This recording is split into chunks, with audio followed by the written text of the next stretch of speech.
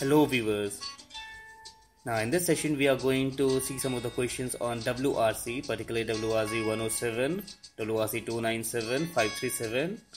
Now these WRC bulletins are used by the piping engineers when we have to check the nozzle flexibility and the stresses at the vessels when the piping is connected to the static equipment like a vessel or to a column but yeah again we need to see the limitations imposed that is the d by t ratio the t by t ratios are fulfilling within the WRC bulletin specified limitations.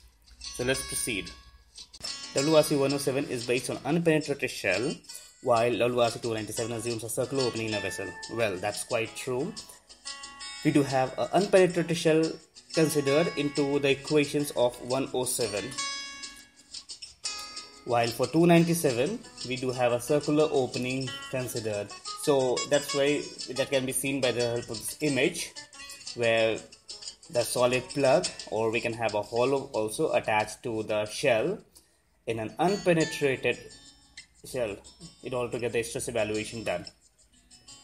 As per WRC 107 for a spherical shell the type of attachment considered are both round and square round or the square well we do have both round and square type of attachment considered into WRC 107 stress computation for spherical shells.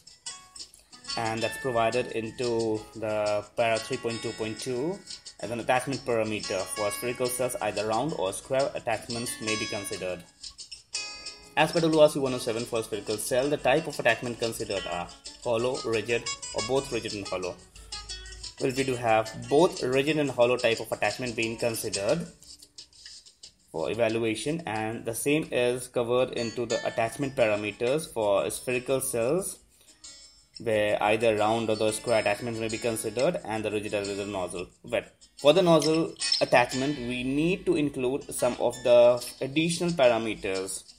While the same is not valid for the rigid attachments where no such additional parameters is required in when we use those non-dimensional curves.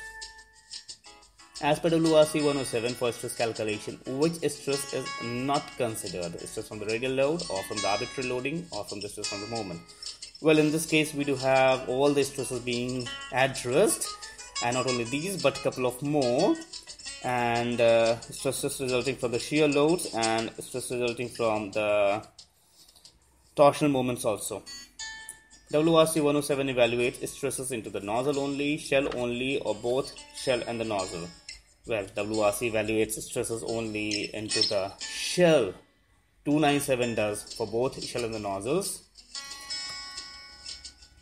So, the foregoing procedure provides one with a tool to find stresses in the shell but not in the nozzles. Next, WRC 107 stress evaluation can be used for the ellipsoidal cells.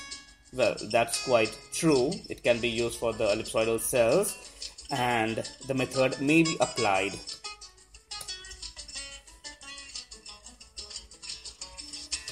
Next, in WRC 107, for cylindrical cells, stress computation can also be done for L by R ratio less than 1, where L is the length and R is the mean radii of the shell. Well, that's false because we don't have the stress computations for L by R ratio less than 1 and that is provided into bulletin 107 and is also not considered applicable in cases where the length of the cylinder is less than its radius. This applies either to the case of an open-ended cylinder or closed-ended cylinder where the stiffness is appreciably modified for the case considered.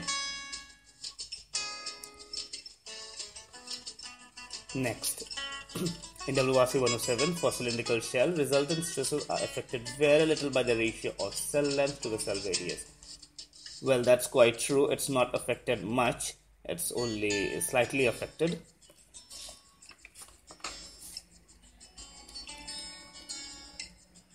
Something around the magnitude of 10 percentage when we hire now, curves included in WRC 107 for the cylindrical shell is for the ratio of shell length to cell radi radius L by R of 10 or 8 or 4 or 2. Well, actually, the curves included in the bulletin are for the radius 8 and that's provided into the bulletin 107 where it's right the curves included in this report are for the L by RM ratio of 8 which is sufficient for most practical applications. Next question. Curves included in WRC 107 for the cylindrical shell for the ratio of shell length to shell radius L by R of 4 will be conservative or non-conservative? Well, because the curves included are of 8, for 4 it's going to be conservative where it writes result based on L by RM ratio of 8 will be slightly conservative for lesser values of L by RM ratio. Next question. Curves included in WRC 107 for the cylindrical cells for the ratio of cell by length ratio cell by cell length to cell radius ratio of 20 will be well that is going to be slightly non-conservative and the same is addressed over there where it says However, the error involved does not exceed approximately 10% of L by Rm values greater than 3, which should be sufficiently accurate for most calculations. WRC 107 is based on Professor P.P. Bijlaard theoretical and analytical work. Well, that's quite true, and uh, that's been provided. Well, WRC Bulletin provides the works of Dr. C. Uh, Steele, while that of the Bulletin 107 provides by the Professor P.P. Bijlaard. Next, the absolute maximum stress intensity in the shell in either WRC 107 or WRC 297 lies at one of the eight points, that is 4 inside and 4 outside the surface. Well, that's not true, it's false. Book Pipe Stress Engineering by L.C. Peng, where it writes that a total of eight locations are evaluated well, the same is captured into the WRC bulletin also, but this gives a clear pictorial representation of the eight points into the four upper and the four lower surface of the shell. Next, WRC is intended for stress evaluation for cylindrical nozzles attached to cylindrical cells. Which WRC? Well, cylindrical nozzle to the cylindrical cells are covered in 297 as well as 107, but 297 is very much particular for this one. Which WRC provides nozzle branch flexibility evaluation? Is it WRC 537, 297? For the nozzle branch flexibility evaluation, we use WRC 297.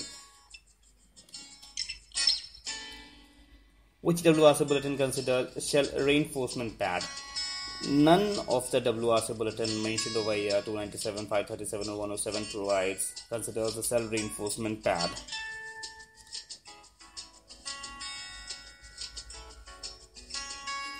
Which WRC bulletin addresses internal pressure loads for nozzle cylinder junction.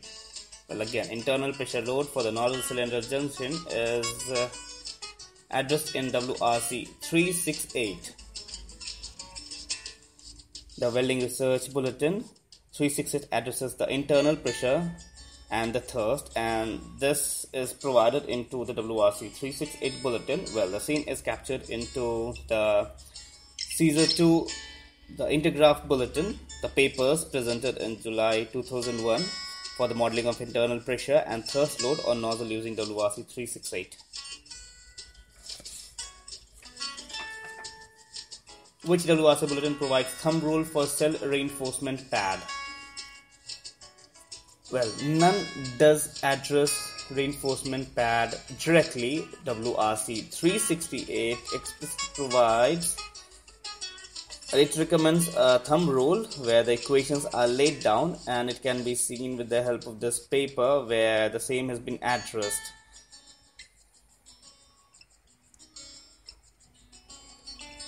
Next, the WRC 368 only addresses cylinder to cylinder intersections loaded under internal pressure for D by 2 ratio less than 10, 500, 100 or 1000.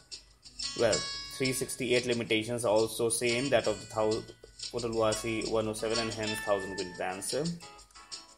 Stress computed by WRC 107 or 297 falls under the B31 code rules.